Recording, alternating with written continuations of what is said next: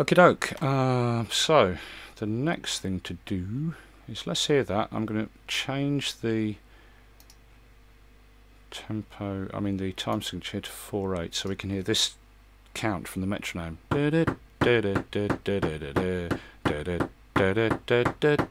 Like that. Let's just hear that. Metronome's on. Lower that guitar a bit. Right, here we go.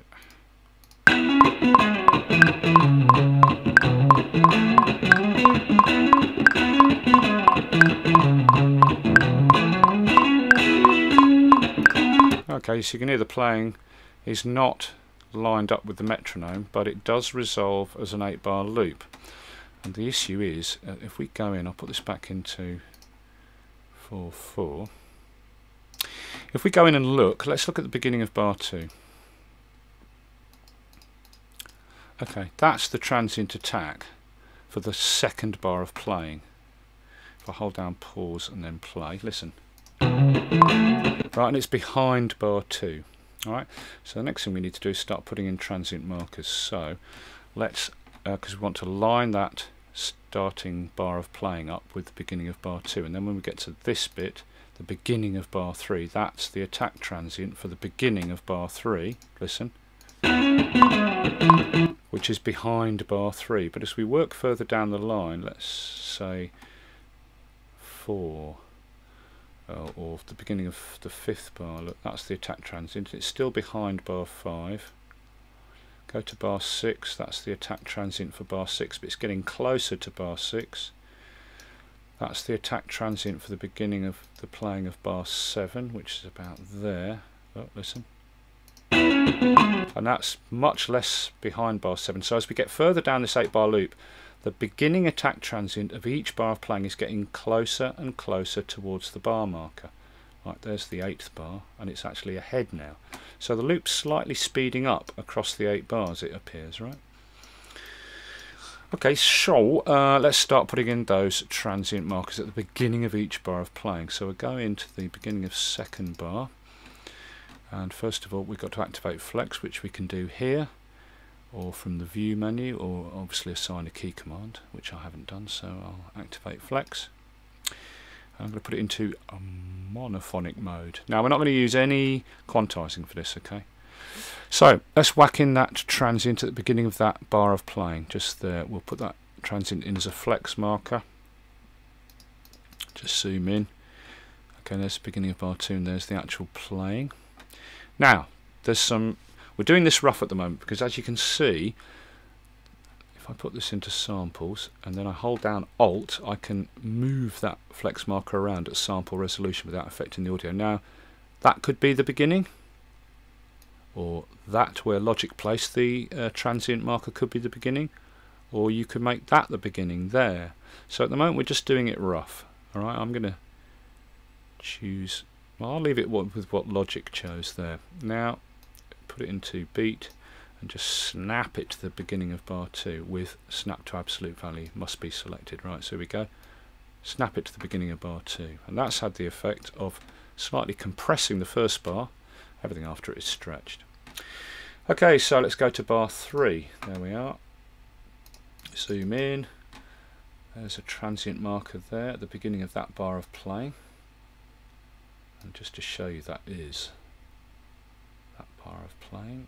I shall just pause and play. Here we go. Right, so activate that marker, turn it into a flex marker, and then snap it to the beginning of bar 3. Right, let's go along to the fourth bar. Hmm, that would appear to be the beginning. Let's just hear it. I mean, that's where the major transient is, right? Let's hear that. But it isn't. This is a flurry like and that's the beginning more like there right? Let's hear that. Yeah so we're doing this rough remember? So put this to samples. It's somewhere there the beginning isn't it? Let's hear that.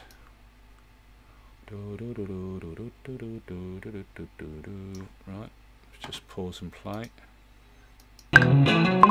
Yep, so I'll activate that marker and put it into or division and I'll snap that to the beginning of bar 4. Alright, let's go along to the beginning of bar 5. That would appear to be the attack transient there. Let's hear it. Yep, so with this in samples, turn that transient marker into a flex marker. Let's just zoom in on it a bit. Hang on. Just have a look at it. Yeah, that'll do. So put it into beat and snap that to the beginning of bar 5.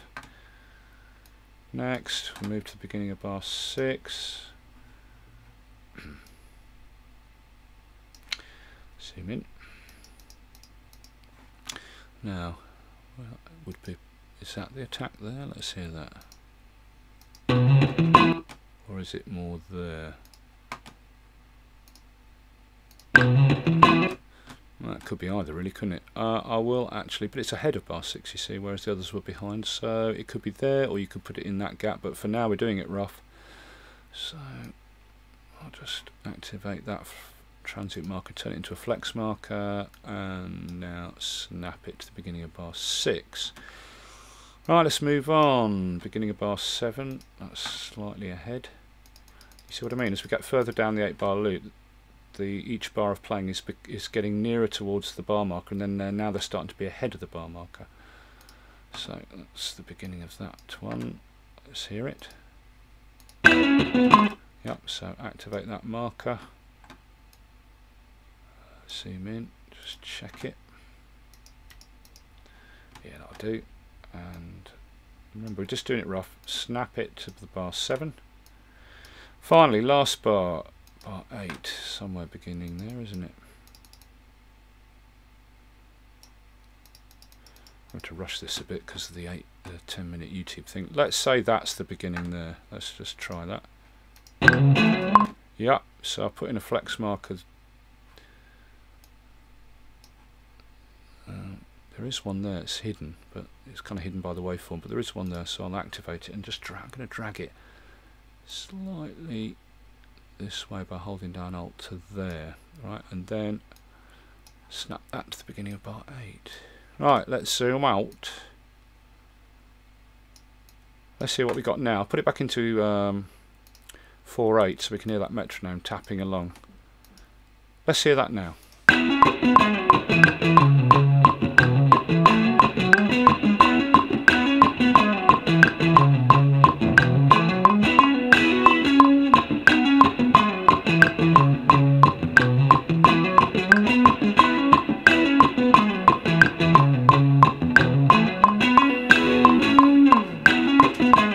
Much better, much better than the first time we did it uh, with the eighths uh, metronome playing right. So that's the next stage. We've we've put in the flex markers for the beginning of each bar of playing and snapped them. And let me put this back into 4-4.